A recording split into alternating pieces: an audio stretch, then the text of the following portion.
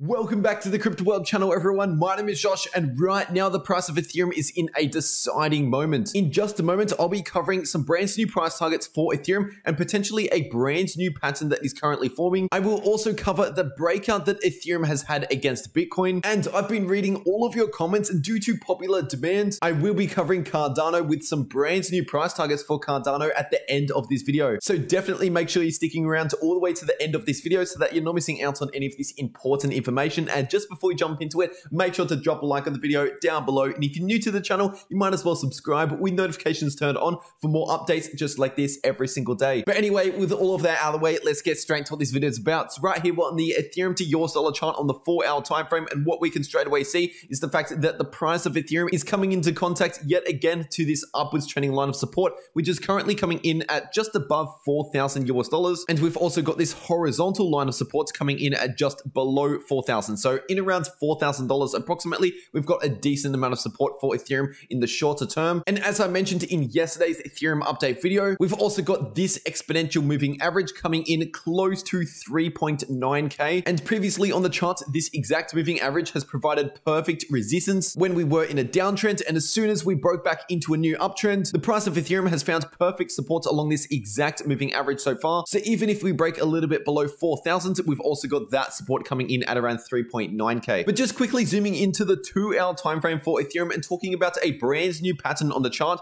if Ethereum can somehow get a bounce pretty soon here, then that sets up a potential inverse head and shoulders pattern on the chart. We've already seen the left shoulder, we've already seen the head, and right now we're basically just waiting on a bounce to the upside to form the right shoulder. So it's important to mention that this pattern is not confirmed just yet. I'm just simply letting you guys know that we are potentially forming this pattern, especially if we can get a bounce here sometime soon. And for Ethereum to complete this pattern, we would need to bounce back up towards the neckline, which is currently coming in at around 4160 to 4170. And something else that I mentioned in yesterday's Ethereum update video is the fact that the RSI is bouncing off the same support level right now as where we were the last time we had a short-term cool-off and we bottomed out getting ready for another push to the upside. But at that stage, we saw a bounce from the RSI and within about two days later, we saw a bullish cross in the four-hour MACD, which was basically the signal getting us ready for another bullish move in the price before the bullish move even started. And just yesterday, we got extremely close to seeing a bullish cross in the four hour MACD, but we didn't quite get there. So we're potentially resetting this bottom right now in the RSI. And if we can perhaps get another bounce off this level, then possibly in a few days from now, likely within the next week, we're going to see some sort of bullish cross here in the four hour MACD and start bottoming out for this short term call off. But of course, it's still a possibility that the RSI could drop below this support level, which by the way, this support level in the four hour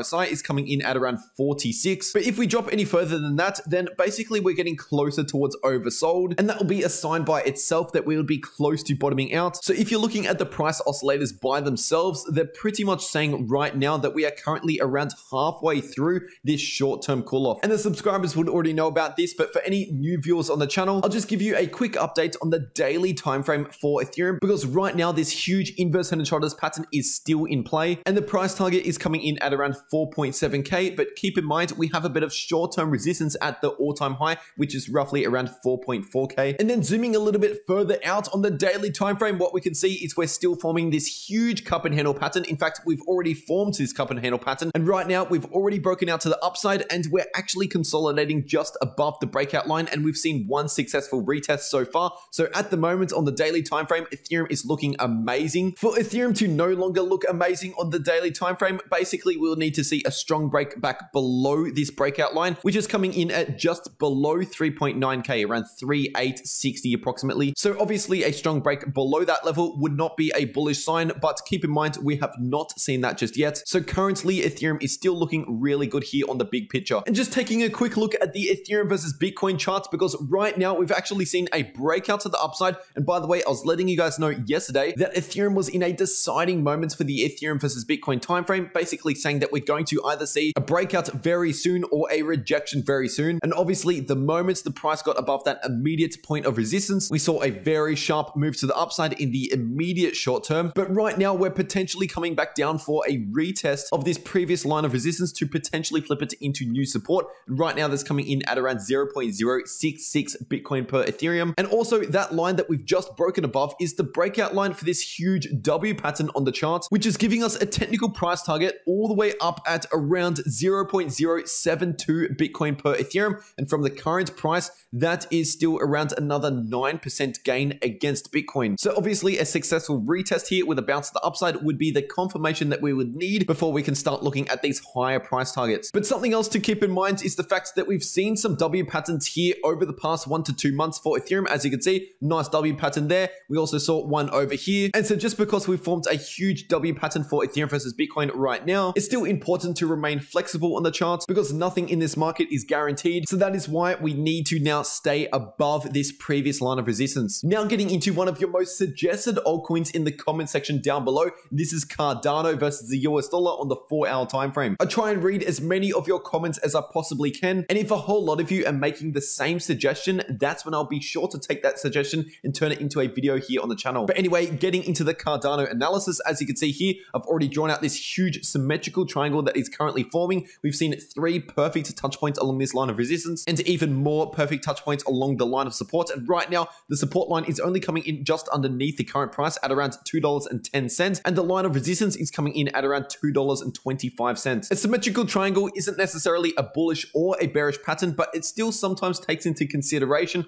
the trends that we entered into this pattern. So obviously, if you're taking a look here, that was a downtrend as we entered into this pattern. And so sometimes these patterns can act as trend continuation patterns. But apart from that, a symmetrical triangle pattern is more of a neutral pattern. And really, we should wait for either a break below support or a break above resistance before we can put the next price targets in play. And talking about the next price targets for Cardano out of this huge symmetrical triangle pattern, if we break the resistance, the price target is coming in at around $2.72. And if we break support, the price target is coming in at around $1.62. And just zooming out to the daily time frame for Cardano, even if we do break to the downside out of this symmetrical triangle pattern, before we can even look at those lower price targets, we also have this huge range of support that has been supporting the price of Cardano since the middle of August. And this is right now ranging all the way down towards around $1.90 approximately. So basically, if we break below $1.90, that is when I would be looking towards around $1.60. And on top of that level of support, we've also got the golden pocket coming in just underneath that level. And by the way, the golden pocket is starting at around $1.82. So there's a decent amount of support here to the downside for Cardano. So if we do end up breaking the immediate short-term support out of that symmetrical triangle pattern, then that would potentially enter us into another accumulation zone. But then of course, a break above resistance is when we can activate some long positions, for example, but obviously that's not financial advice.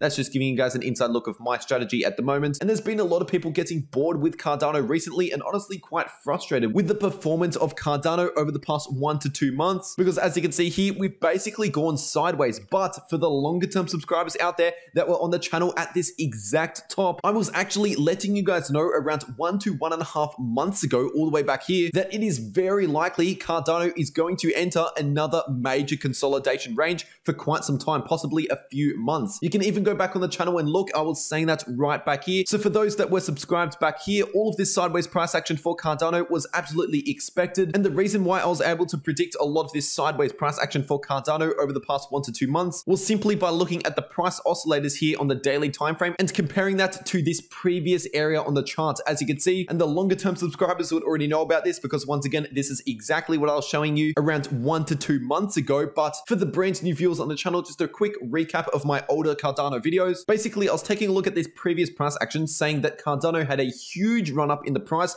and then we saw major bearish divergences forming on the daily time frame with the price oscillators starting to go to the downside and the price starting to lose momentum. And so the moments that the price really started topping out here and started entering into a sideways consolidation, Cardano from that point actually went sideways for the next two months straight before we saw any significant move on the daily time frame, which was basically just a move straight up and then straight back down. So if you don't consider that pump and dump that we saw back here during May, then Cardano actually went sideways for around 160 days, which is over five entire months worth of sideways price action. Now, I'm definitely not saying that we're going to see the exact same sideways price action over the next four to five months. I'm just letting you guys know that this sideways price action was to be expected. And honestly, we could be due for another one to two months worth of sideways price action. And if that happens, I wouldn't be too surprised. And even though some of you might not like to hear that, all of this boring price action in the market is actually the time to be paying the most attention. Because let's be honest here, the majority of the people in the market pay the most attention to a crypto once it has already seen a massive gain. And at that point, the opportunity has basically already passed. But when we're having a huge consolidation range, and especially if we have bearish price action like what we saw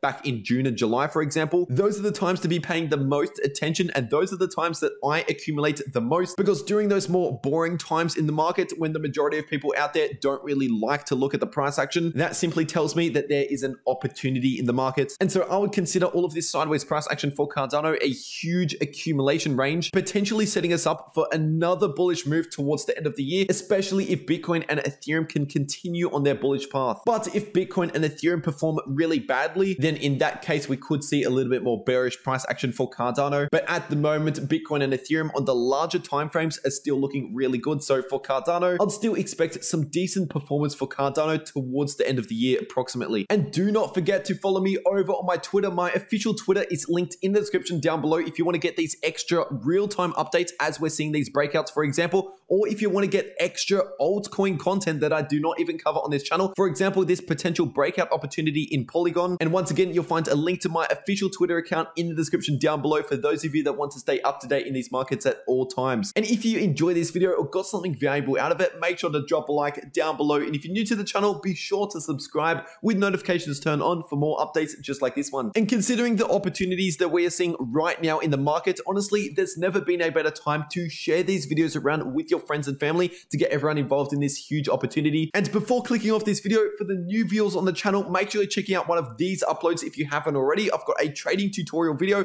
showing you how to trade crypto and a passive income video showing you how to earn passive income every single day with no work required. But anyway, that is really everything I have to say for this video. I really hope you enjoyed and I'll see you all in the next video.